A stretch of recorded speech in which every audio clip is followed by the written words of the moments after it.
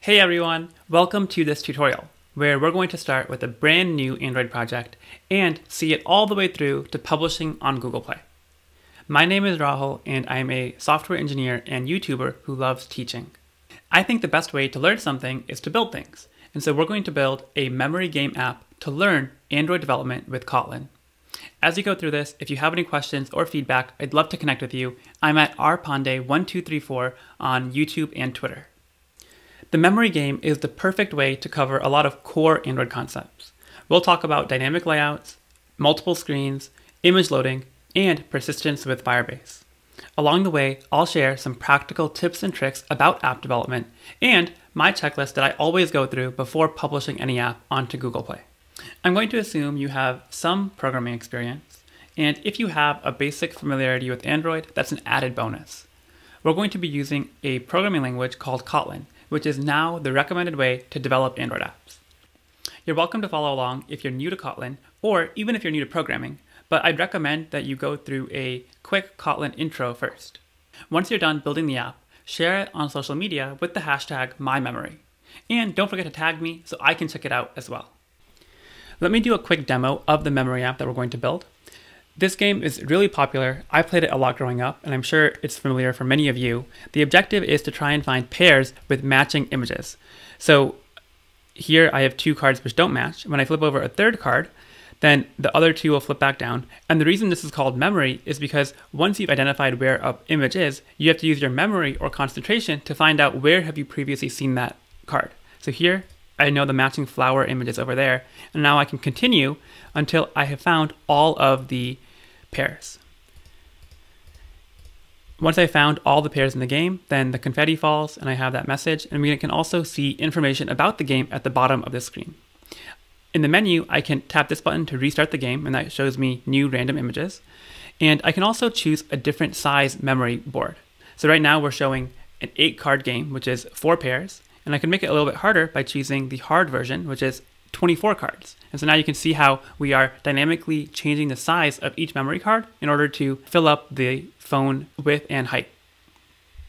One other thing we can do is download a custom game. So this is a really cool part of the game, which is that anyone in the world can create their own memory game with photos from their phone.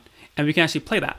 So for example, I created a custom memory game called Bitmoji.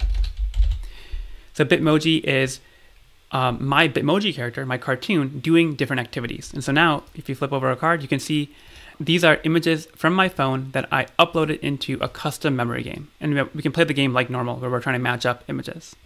And finally, of course, you can also create your own custom memory game. So I'm going to choose to create an easy game, which means I have to upload four images. This will now launch the existing gallery app on your phone, and I can select photos from my phone. So I have these very adorable photos of corgis. I want to give this game name the name of corgi and tap save. And what this is doing is it's persisting these images to Firebase. And once that's done, now we can actually play our custom game. So you can see the images of the corgis that we have here. And the cool thing is now I can share this game name, Corgi, with anyone in the world and they can play the same game. So there's a lot of really cool concepts that we're to cover in the process of building this, and I'm really excited to get started with you.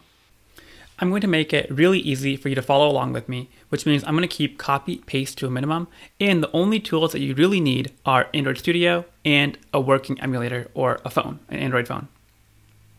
I'll also leave a link in the description to the GitHub repository which contains all the code, so you can feel free to reference that as well.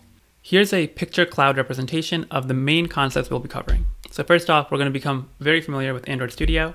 We're also going to be talking about vector icons. So Android Studio will help us to create a bunch of these vector images that will be used as the default memory game images. We'll also talk about views and measuring out how much space to allocate with the content, the padding, and the margin which lives outside the view. All that content will live largely inside of a recycler view, which is how we're displaying the grid of memory cards. So a recycler view is a very core component in Android, and we'll talk about the different parts that make up a recycler view. We're also going to be dealing with two Firebase services. The first is cloud storage, which is what we'll be storing our images. Second is Cloud Firestore, which will be the database associating our game name to a list of image URLs. And then finally, we're going to spend a bit of time talking about how do we create a release app that we can then publish onto Google Play and also talk about how to optimize your Google Play store listing. I'll leave a link to the published app in the Google Play Store in the description so you can download it and get a better feel for what exactly we're going to build.